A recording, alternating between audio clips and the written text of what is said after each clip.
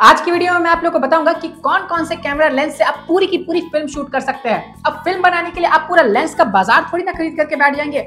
आप जो सेलेक्टेड होंगी, जो आपको मेनली काम में आएगी, वही खरीदेंगे। देखिए, लेंस जो है ना, वो कैमरा के आँखों का काम करता है। अगर लेंस ना रहे ना तो कैमरा अंधा हो जाएगा, अंधा। तो आज आप इस वीडियो में जानिए कि आपको कौन कौन से कैमरा लेंस मेनली बाय करनी चाहिए और उससे अपना काम चलाना चाहिए। ये नहीं कि आप पूरा लेंस का बाज़ार खरीद करके बैठ जा रहे हैं। तो चलिए शुरू करते हैं वीडियो को। हाय एवरीवन मैं हूँ आकाश रजक और आप देख रहे हैं आकाश रजक ओरिजिनल्स देखिए, ज़्यादातर जितनी भी एंट्री लेवल के कैमराज होते हैं ना, उनमें ये लेंसेज वर्क करेंगी, जिनके बारे में मैं बात करने वाला हूँ। ऐसे तो मेनली जो लेंसेज होते हैं ना, उनकी दो कैटेगरीज होती है प्राइम लेंस और जूम लेंस अब देखिए, उसमें भी सब कैटेगरीज होती है, लेकिन इतना टेक्निकली अगर मैं आप लोग को समझाऊ ना तो आपके कुछ पल्ले नहीं पड़ेगा। तो मैं आप लोग को सिंपल लैंग्वेज में समझाता हूँ, और इसीलिए आप लोग मुझे पसंद भी करते कि मैं आप लोग को सभी वीडियोज़ में एकदम सरलता से समझाता हूँ टेक्निकली एकदम इन्वॉल्व होकर के नहीं समझाता हूँ। तो आप लोग को मज़ा भी आता है और समझ में भी आ जाता है। तो इसी में मैं आप लोग को सरलता से समझाऊँगा। और अगर आप लोगों को इसकी टेक्निकली जानकारी चाहिए टेक्निकली कितने तरह के लेंसेज होते हैं क्या क्या काम करते हैं तो उसके लिए आप मुझे कमेंट बॉक्स में लिखिए। मैं आगे आने वाले वीडियोज़ में उस पर वीडियो बना दूँगा।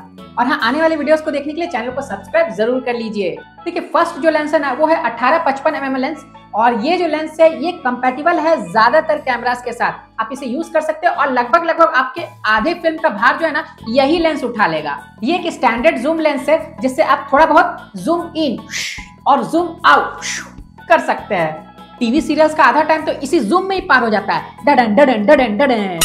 देखिए सेकेंड लेंस जो है ना, वो है पचपन अढ़ाई सौ का लेंस इसे पचपन अढ़ाई सौ एम लेंस बोला जाता है। और ये जो लेंस है ना, ये एक जूम लेंस है, जिससे आप दूर के शॉट्स को आसानी से ले सकते हैं। सपोज़ मान लीजिए कि आपको कैमरा लगाना है और किसी पेड़ में, दूर किसी पेड़ में बैठे किसी बर्ड को आपको कैप्चर करना है तो आप इसका यूज़ कर सकते हैं, क्योंकि अच्छा खासा जूम कर देता है। अब देखिए, आप अपने फ़िल्म में बैकग्राउंड ब्लर करने के लिए भी इसका इस्तेमाल कर सकते हैं, क्योंकि ये अच्छा खासा बैकग्राउंड ब्लर करता है। आप इससे जूम कर दीजिए और जूम करने के बाद आपका जो सब्जेक्ट यानी जो कैरेक्टर है, वो इस पर फोकस पे रहेगा ना तो बैकग्राउंड बहुत ही अच्छा ब्लर होगा। जो मैंने आपको पिछला लेंस बताया था ना, जो आपका अठारह पचपन वाला लेंस था, उससे बहुत ज़्यादा अच्छा ये जूम करेगा और बहुत ही ज़्यादा अच्छा ये ब्लर करेगा। तो ये दोनों इफेक्ट्स आपको बहुत अच्छे से मिल जाएँगे इसमें। अब थर्ड जो लेंस है ना, वो है 50 एम mm का प्राइम लेंस उल्लू है ये लेंस उल्लू। अब देखिए, मैं आप लोग को बताता हूँ कैसे। आप भी कंफ्यूज हो गए होंगे। देखिए, अगर आपको इस लेंस से शूट करना है दिन में, या फिर आपके पास परफेक्ट लाइटिंग सिस्टम है तो आपको उस लेंस से शूट करना है तो वो आपके लिए एकदम इंपॉर्टेंट नहीं है, क्योंकि ये लेंस तब काम आता है जब आप लो लाइटिंग में शूट करते हैं। लाइट कम है, चाहे तो परफेक्ट लाइटिंग नहीं है, या आप नाइट में शूट करते हैं तो वो लेंस आपको काम आता है। तो हुआ ना वो उल्लू उल्लू को हमेशा बेवकूफ़ से क्यों जोड़ते हैं? ये नाइट में अच्छी शूटिंग कर सकता है, इसीलिए इसे उल्लू कहा मैंने। इसकी फोकल लेंथ है ना वो फिक्स रहती है आप इससे जूम इन और आउट नहीं कर सकते हैं। तो टीवी सीरियल तो बनाना आप इससे भूल जाइए क्योंकि टीवी सीरियल में तो वही चलता है ना ढडन ढडन ढडन ढडन बार बार जूम किया गया बार बार जूम किया गया। मतलब ज़रूरत नहीं तो भी बार बार चेहरा जूम किए जा रहे किए जा रहे हैं। हल्का सा एक पेन गिर गया उसके बाद जूम होना चालू। एक बार इसके चेहरे पर एक बार इसके चेहरे पर एक बार इसके चेहरे पर एक बार इसके चेहरे पर। पेन गिर गया पेन गिर गया पेन गिर गया। अरे पेन ही गिरा है ना कोई आसमान तो नहीं गिर गया है। एनीवे anyway, जाने दीजिए।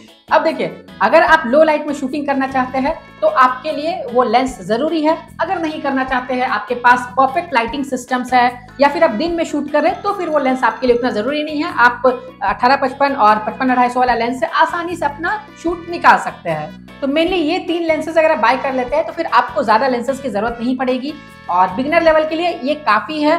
तो चलिए वीडियो को कर दीजिए लाइक चैनल पर नए हैं तो सब्सक्राइब करके रखिए। फिर मिलेंगे एक नए वीडियो में। Love you and bye